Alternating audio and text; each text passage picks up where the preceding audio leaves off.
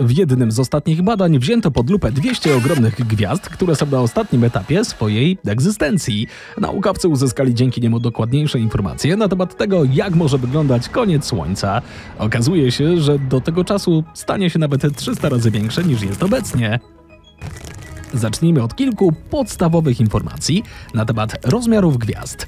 Stają się one olbrzymie, gdy kończy im się paliwo jądrowe i nie spalają już wodoru w swoim jądrze. W końcu jądro osiąga na tyle wysoką temperaturę, że zaczyna się kolejny etap fuzji jądrowej, a mianowicie spalanie helu.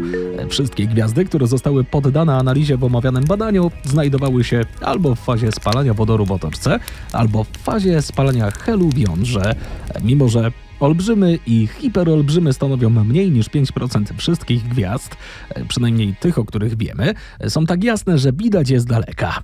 W istocie, według naukowców, mniej więcej 1 trzecia wszystkich gwiazd, które można zobaczyć w ciemną, bezksiężycową noc, to olbrzymy lub hiperolbrzymy. Badanie ma dostarczyć astronomom niezwykle przydatnych informacji na temat masywnych gwiazd. Będą w stanie określić ich rozmiar oraz temperaturę, niezależnie od tego, gdzie się znajdują i na jakim etapie ewolucji są. Oznacza to, że ujrzą prawdziwy kolor gwiazdy i wykorzystają go do określenia jej promienia. Nieźle, prawda? Nasuwa się pytanie, jak będzie wyglądało nasze Słońce na schyłkowym etapie swojego istnienia. Cóż, gdy zacznie spalać swoją wodorową powłokę, będzie się rozszerzać, a następnie nieco się skurczy podczas fazy spalania jądra chylowego. Po kilkuset milionach lat stanie się gigantyczną gwiazdą, od 200 do 300 razy większą niż obecnie. Ostatecznie rozszerzy się tak bardzo, że po prostu wyparuje. A co się stanie, gdy Słońce zniknie? Naukowcy mają pewne przewidywania, choćby nawet nie było nas już na tym świecie. Są zgodni, że Słońce zamieni się w mgławicę planetarną. To kawałki gazu i pyłu w przestrzeni kosmicznej, które pochodzą z gasnącej gwiazdy.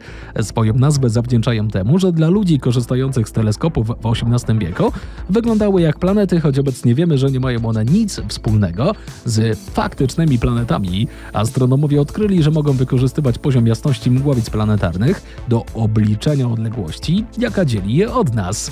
W 2018 roku wykazali również, że Słońce jest najmniejszą gwiazdą, która potrafi wytworzyć widoczną mgławicę. Przy każdej mniejszej gwieździe byłaby niewidoczna. Gwiazdy nawet trzykrotnie masywniejsze od Słońca produkują jaśniejsze mgławice. Słońce ma obecnie 4,6 miliarda lat, ale szacuje się, że do końca pozostało jeszcze 10 miliardów lat. Z każdym rokiem Słońce staje się coraz jaśniejsze. Teraz nie wydaje się to zbyt wielkim problemem, ale w przyszłości perspektywa się zmieni. Za jakiś miliard lat Słońce będzie zbyt jasne, by życie na Ziemi mogło przetrwać. Nasze oceany wyparują, a na odrodzenie wody będzie za gorąco. Jeśli nie znajdziemy sposobu na ucieczkę z tej planety, mamy przed sobą maksymalnie miliard lat. Czy Ziemia będzie jeszcze istnieć, gdy Słońce zamieni się w pył? Trudno o dokładny harmonogram, ale można zaryzykować tezę, że nasza planeta już wcześniej będzie jałowa, pozbawiona życia, bez atmosfery i oceanów.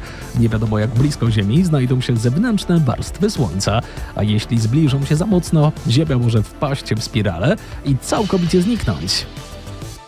Nawet jeśli naszej planecie jakimś cudem uda się przetrwać olbrzymią fazę Słońca, będzie ona krążyć wokół gorącego białego karła lub gwiazdy, której skończyło się paliwo. W tej odległej przyszłości Słońce będzie niewiele większe od naszej planety, ostatecznie ostygnie i całkowicie ściemnieje. Przejdzie do kolejnego etapu zwanego czarnym karłem. Dojdzie do rozluźnienia orbity Ziemi, a nasza planeta zacznie spiralnie zbliżać się do gasnącego Słońca. Co ciekawe, Słońce nie ma ostatecznego wpływu na to, co dzieje się z Ziemią. Grawitacja utrzymuje planety na orbitach, ale także przyciąga je do siebie, co może powodować ich adaptowanie się i dryfowanie. Gdyby doszło do zmiany w tej materii, groziłaby nam destabilizacja Układu Słonecznego i wyrzucenie planet, w tym Ziemi. Zasadniczo wiele może się wydarzyć w ciągu najbliższych 5 miliardów lat, zanim Słońce stanie się czerwonym olbrzymem. Jest też inny scenariusz. Choć większość gwiazd znajduje się daleko od naszego układu słonecznego, niewykluczone, że jedna z nich zbliży się do nas w ciągu najbliższego miliarda lat. Nawet niewielka gwiazda lub czarna dziura może zakłócić orbitę naszej planety, jeśli znajdzie się zbyt blisko. Nie powinniśmy jednak zbytnio się tym przejmować. Prawdopodobieństwo takiego zdarzenia jest niewielkie ze względu na ogrom przestrzeni między gwiazdami. Nasze Słońce to samotna gwiazda, więc ryzyko, że dojdzie do spotkania Ziemi z inną gwiazdą jest bliskie zero. Jednak wiele gwiazd w naszym wszechświecie ma towarzyszy. Wśród tych gwiazd jest Castor, oszałamiający układ, który składa się z sześciu gwiazd i jest jednym z najjaśniejszych obiektów na nocnym niebie. Chociaż ludzie podziwiali Castora już przed wiekami, nie byli świadomi jego prawdziwej natury, aż do wynalezienia nowoczesnego sprzętu. Nawet z pomocą niewielkiego teleskopu widać, że Castor składa się z dwóch gwiazd głównych, Castora AA i BA, które krążą wokół siebie. Gwiazdy te są większe od Słońca i potrzebują 467 lat na wykonanie jednego obrotu. W sumie Castor składa się z sześciu różnych gwiazd. Największa z nich, AA, jest w przybliżeniu dwa razy większa od Słońca, z kolei najmniejsza stanowi jedną drugą masy Słońca. Jeśli jako ludzie chcemy przetrwać kolejne miliardy lat, być może będziemy musieli rozbić obóz, w innym miejscu we wszechświecie. Z dzisiejszej perspektywy może się wydawać, że to scenariusz z filmu science fiction, ale pewnego dnia fikcja zamieni się w rzeczywistość. NASA już teraz przygląda się niektórym opcjom.